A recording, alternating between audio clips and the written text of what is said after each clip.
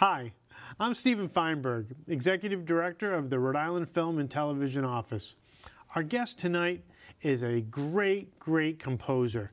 I like to call him the maestro. He's from Milan, Italy, and in 2006 he came to Rhode Island, where he is now an American citizen. I want to welcome my good friend and super talent, Mauro Colangelo. Thanks, Steven. Thanks for having me. Welcome uh, to Double Feature. Thank you. So, Mauro, you started out as uh, you grew up in Milan, Correct. Yes. and you were a rock and roller, right? I, I had my moment. what brought you to America? Um, a combination of things, and one of which is music, obviously, and um, you know, more opportunities, more um, room to experiment, and you know, do new things, more things. Yeah. Now you you do um, feature films. You do the uh, you compose for feature films. You short films, music videos, uh, experimental films, multimedia commercials. I've seen so much of your work, and it's so diverse. Um, what's some of the favorite stuff that you've worked on? Um, each, I think each thing um, has something that I really enjoyed. Yeah. uh, in the process. Commercials, for some reasons, like for example, commercials are always been uh, has always been interesting to me because in 30 seconds you have to convey a lot of emotions, and um, And you've So done that's a like, challenge. you've done like N- Nike commercials. I've done Reebok. Reebok. In America, I've done Reebok. I've done Alex and Ani, Yeah. uh, the Super Bowl commercial of three years ago. I did a few others for them. Um, I've done Coca-Cola. I've done um, Sprite. I've done uh, Mattel. I've done all the Italian cars. Okay. Oh wow. Alfa Romeo, Fiat. Uh, I was the um, official composer for Ferrari for a few years. Do you prefer um, when a director gives you a film with the temp tracks, or do you prefer not to have the temp tracks? I know, I don't know how John Williams and Steven Spielberg work. I know like, one time, John Williams, uh, Steven Spielberg had a temp track for Jaws, and John Williams said, "No, no, no, no, no, no, this is not the right music." But do you prefer to have a, a, a film delivered to you without a temp track or with a temp track? Um, I, I, I like either way. Um, also, I the goal for me the goal for me it would it would be to have um, to make the director comfortable. You know, meaning like you know he uh, explained it as much as he could. Um, he explained the way he envisioned the music along his, his movie, and to me, it's because it's not my movie. Um, I'm working uh, to put music that ha- you know works with the with, with, with the intention of the, the film. So um, temp track uh, sometimes are helpful. Um, the risk is that some people get married to it, and so it's difficult to mm, to do something that it's uh, it maybe as from it. good but different. Um, but I don't mind it, and um, s- but you know sometimes when the relationship between a director, like um, becomes a little bit more intimate until we know each other a little bit better.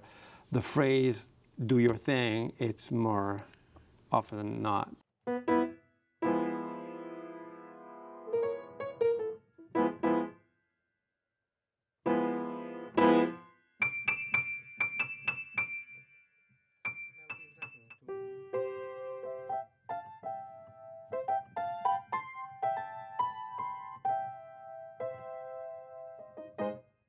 want to do too many notes because he's not doing. Like that? Or like. yeah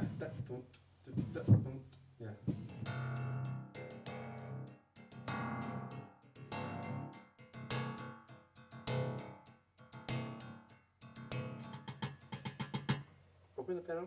No?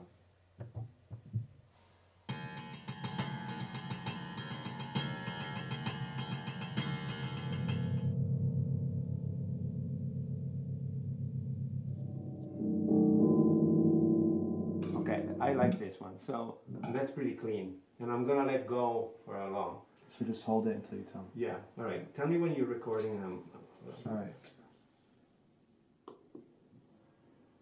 It's recording. So.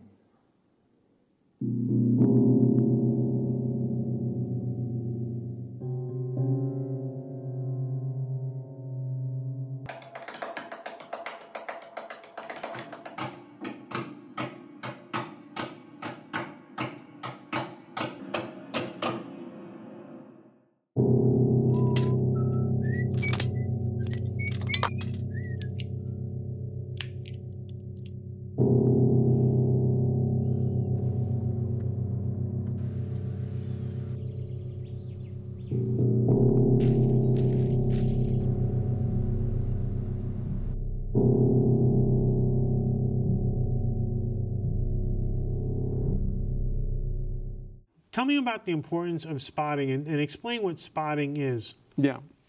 Okay. So that's a, a very, very crucial moment because it, it always happens uh, before I start writing. So the first five, six times that I watch the movie, it's like to understand and, and to, you know and try to place the music in my head in some spot, and I take notes and stuff.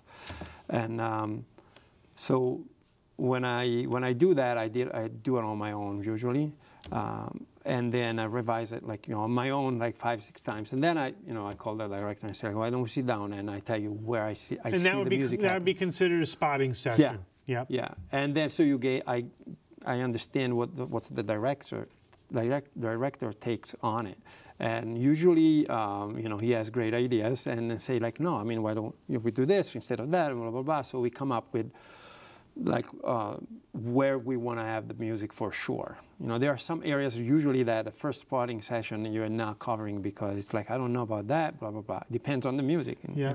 So now, now with that in, as a reference, you can start writing, and um, and place it. You know, in, in those you know particular particular spot in the, in the movie, and, and you see if they if they work or if you want to change your mind. Yep. So that's that's pretty much how it works. Then I go back to the, direct, the director and say, okay, this is the main theme on that character. So why don't we check it out? I mean, it's, it's I think it works, but we should end it for uh, earlier, for example, than Yeah. what we thought. And and we, we, we kind of decide and make decision at that point. you Yeah. know. And really it is another part of the toolbox of filmmaking is the music. And you might have like a, a character that might have a uh, some music that plays behind that character and it might start out dark and then it might lighten up towards the end. But Yeah. you're you're using that as a tool, a subconscious tool. Oh, yeah, absolutely. I mean, there's so many uh, uh, subtleties on, on music that can change completely the vibe of what's going on And visually. also, yeah. I think about too in, in a film like Psycho, Yeah. where Hitchcock didn't want music, and Bernard Herrmann, the composer, said, "Oh no, no, no, let, I, let me play." and, and and the power of Jaws too, with with the music conveying Yeah. that the shark was there, whether you saw it or not. Why? I mean, uh, of course, I, I, I love my job and I know how important it is the music, but truly, I mean, yeah, it's it's a vital part of the movie. There's you know you can change. Uh, you can change the the outcome of a situation just by the music, Yeah. and uh, and as they say, then the movie doesn't look good until it sounds good. And it's kind of true. Yeah, well, you're, you make each film sound good. Oh, thank you.